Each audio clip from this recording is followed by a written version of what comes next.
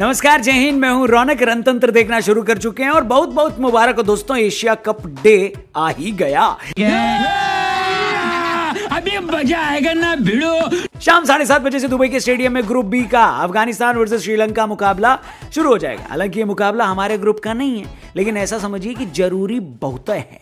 वैसे ही ज़रूरी है, जैसे अपना भौकाल जमाने के लिए एक चमचमाती नई नवेली महिंद्रा थार। और ये महिंद्रा थार अगर आप जीतना चाहते हो मेरे यार तो वीडियो पूरे एंड तक देखना। आपके लिए मैं बताऊँगा कैसे जीतोगे। फ़िलहाल बात कर लेते हैं ग्रुप बी के मैच की, जो हमारे लिए इंपॉर्टेंट क्यों है। देखो, ऐसा है कि जिस ग्रुप में इंडिया है, वहाँ से तो आगे ये तय है कि इंडिया और पाकिस्तान को ही जाना है। लेकिन स्टेज टू पर हमारा सामना न सिर्फ़ पाकिस्तान से होगा, बल्कि उस ग्रुप के टॉप दो टीमों से भी हमें मुकाबला करना पड़ेगा। और फाइनल में कौन सी टीम पहुंचेगी, वो ग्रुप स्टेज से नहीं, स्टेज टू से डिसाइड किया जाएगा। इसलिए ग्रुप बी के मुकाबलों पर भी हमें पूरी नज़र रखनी होगी और उसका पूरा हालचाल और बवाल आपको कल सुबह की वीडियो में मिल जाएगा। लेकिन उससे पहले, जैसे कि हमने आपको कल बताया था कि इंडिया की टीम के सामने कुछ दुविधाएँ हैं, कुछ प्रॉब्लम्स हैं। क्या दिक्कत है एशिया कप में पाकिस्तान से होने वाले मैच से पहले इंडिया की टीम को? इस वीडियो में हम उसी की बात करेंगे। वीडियो पसंद आए तो दोस्तों से ज़रूर शेयर करिएगा अपने और हमारे चैनल को भी अगर अब तक सब्सक्राइब नहीं किया है तो तो करना। जी हाँ इंडिया की प्रॉब्लम नंबर वन है विकेट कीपर कौन होगा? पंत या कार्तिक? वैसे तो इसका सीधा जवाब है और जितना मेरा एक्सपीरियंस है उस हिसाब से तो टीम इंडिया का मैनेजमेंट ऋषभ पंत को ही खिलाएगा। लेकिन दिनेश कार्तिक को ड्रॉप करना आसान होने वाला नहीं है। एक खिलाड़ी जिसको आधे से ज़्यादा लोग रिटायर्ड मान चुके थे क्योंकि उसने कमेंट्री करना चालू कर दिया था वो अपनी वापसी प्लान करता है।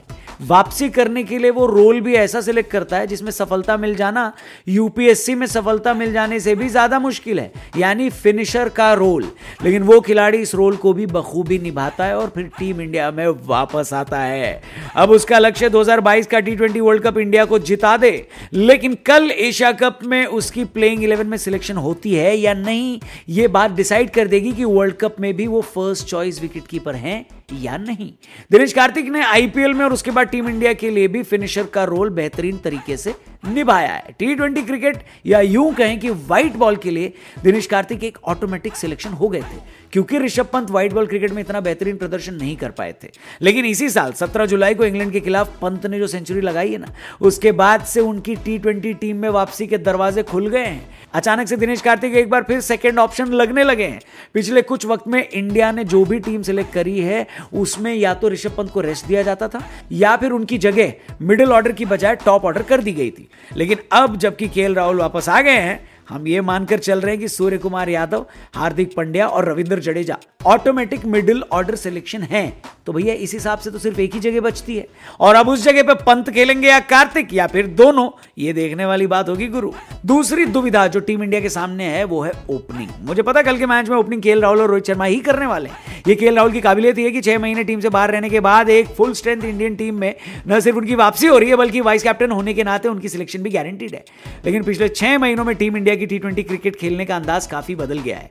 इंग्लैंड और वेस्टइंडीज में हमने यही देखा कि अब एंकर वाला कोई सीन बचा ही नहीं है। सभी हिटर का रोल प्ले कर रहे हैं और पहली गेंद से कर रहे हैं। दूसरी तरफ़ के राहुल शुरू में आराम से खेलकर बाद में तेज खेलने के लिए जाने जाते हैं। लेकिन अब उनको भी अपनी अप्रोच टीम के अप्रोच की तरह बदलनी पड़ेगी क्योंकि उनकी गैरहाजिरी में टीम इंडिया ने बहुत सारे ओपनर्स भी ट्राई कर लिए और अब उन सब में सूर्य कुमार यादव सक्सेसफुल भी रहे हैं। विराट कोहली भी आईपीएल में तो ओपनिंग कर चुके हैं। तो क्या ऐसा हो सकता है कि शर्मा जी के बेटे और शर्मा जी के दामाद ओपनिंग करें और के राहुल वन डाउन खेलें या मिडिल ऑर्डर खेले?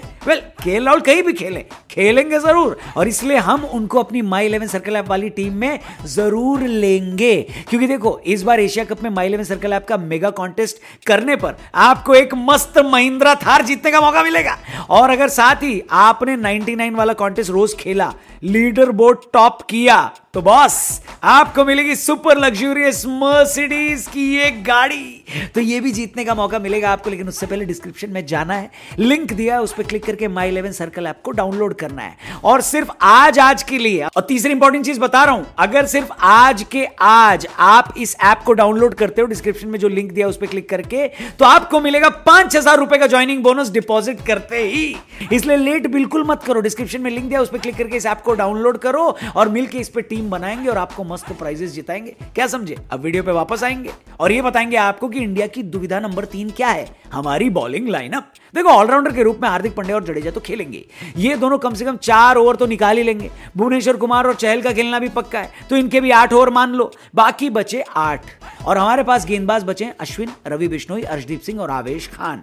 खेलेंगे इनमें से कोई दो और ही।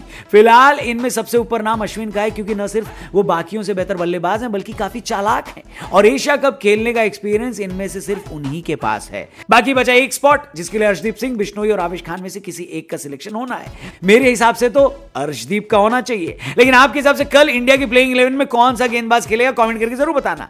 हम आपके लिए हाजिर हो जाएँगे कल इंडिया पाकिस्तान के मैच का प्रीव्यू लेकर। और आप जरा डिस्क्रिप्शन में एक बार चले जाना, वहाँ पर आपके लिए एक लिंक दिया, उस पर क्लिक करके माई इलेवन सर्कल ऐप को डाउनलोड करना मत भूलना। आज के आज अगर आपने उस लिंक पर क्लिक करके इसको डाउनलोड किया तो पाँच हज़ार आपके हो सकते हैं। क्या समझे? लेकिन याद रखना this game involves an element of financial risk and may be addictive please play responsibly and at your own risk बाकी चलने से पहले आपसे एक बार फिर से रिक्वेस्ट करूँगा कि हमारे चैनल को अगर अब तक सब्सक्राइब नहीं किया तो प्लीज़ ज़रूर करना। और कल का दिन इंपॉर्टेंट है।